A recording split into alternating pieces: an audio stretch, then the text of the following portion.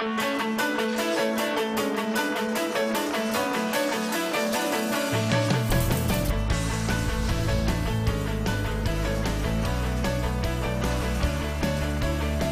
guys, welcome to Ozarks Live. Look who joined me today. Hello, I'm Kelly Smith, and thank you for having me, Kerrigan. I appreciate it. Anytime. I'm so excited to have you here. I haven't got to hang out with you in a bit. I, it has been a while. I'm usually out the door before you know Yeah. you and I get a chance to chat. We get to Um, say hi in passing, and we that's do. about it. Hello, just like that. Uh, But I was uh, live at Sycamore. Yes, uh, you were at Sycamore Ranch yesterday for Yes, the show. I was. Tell me about that. That looked like a Oh, lot Did of you tell how much fun I was having? Yes, I was very jealous. Um, well, I kind of said, I want to go out there. I want to go out there. So, look, I did a little video montage.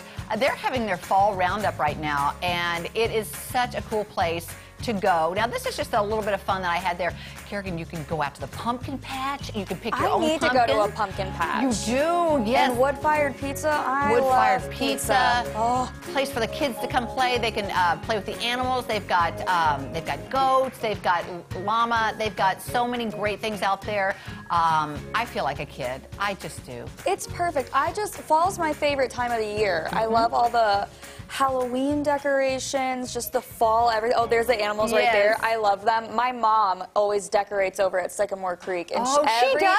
Every time she's there, she will FaceTime. Oh, you went down a slide. Kerrigan, you would love this. They grease up your slide really good so you could go really fast. Oh, my gosh. So much fun. That looked like so much fun. But my mom, oh, every time she's there, she FaceTimes me, and she'll FaceTime the llamas and the alpaca for Have me. you been? I haven't been there yet. Okay, you've got to go. But let me just say real quick Friday night, they have a barn dance. Well, they're calling it a barn dance, but they're doing it outside right now because of, you know, the COVID thing. Mm-hmm. Uh, it goes from 7 to 10 at Sycamore Creek Family Ranch. So if you get a chance to see, see what they are all about on Facebook, you'll love the place. It looks so much I can't believe you haven't been. I know. I don't want to. I'm upset and embarrassed about it. We'll just get over it.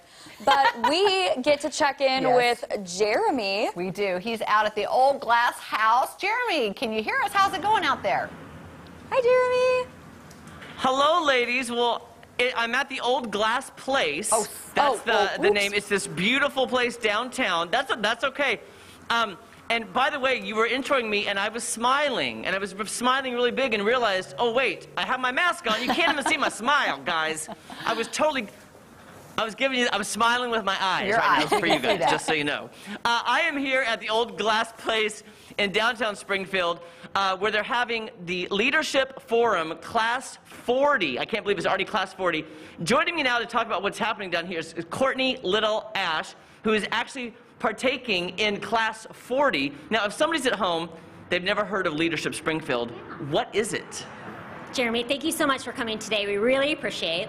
Leadership Springfield is a group of individuals that are comprised of community leaders and basically we are looking at red flag issues by made by the springfield um, community action so that we can talk about issues that are happening in springfield and how we can solve those issues Okay, so the people that are taking these classes, what do they range from? Are they business people? Are they entrepreneurs? How does that work? business people, community leaders. We've got um, individuals from different backgrounds, um, community organizations, um, volunteers, everybody that's been a leader in this community. So, what is the hope when you graduate from a Leadership Springfield?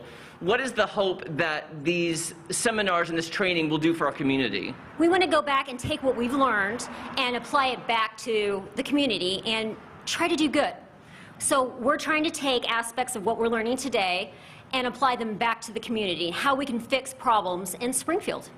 I love what you're doing because you, the community is taking initiative within itself to help the community. So this is in within Springfield, and I know that some business people come from other areas to take part in this. Do you know like how many classes have happened and how long each class takes? Yes, so we are Leadership 40. This is a nine month program that exists, and then they have two programs that go on simultaneously through the year. Okay, Yeah. so 40 classes, it takes nine months. After you graduate, then you're ready to tackle the community issues in our area. That is correct. Okay, I'm so excited, guys, because coming up, I'm actually going to go in and partake in one of their classes, and I'll be talking with Carrie Richardson, who's the executive director, and she's going to kind of talk me through the process, what happens over the nine months, the people who've gone through the classes before, what they've done for our community, and what the communications and technology has done for the city of Springfield. So I cannot wait to show you that. That's coming up in just a little bit. But until then, I'm going to toss it back to Kerrigan and Kelly, and you're doing a great job holding down the fort back there. Hey, we're, we're doing our best. That looks like a lot of fun. I can't wait to hear all about it. Yeah, I really am excited to hear more about that too. That's a great job that they're doing. All right, coming up, Archie from Archie's Italian Eatery is in the kitchen as we speak. Yep, there's some great dishes right around the corner, so don't go away. Ozarks Live is just getting started.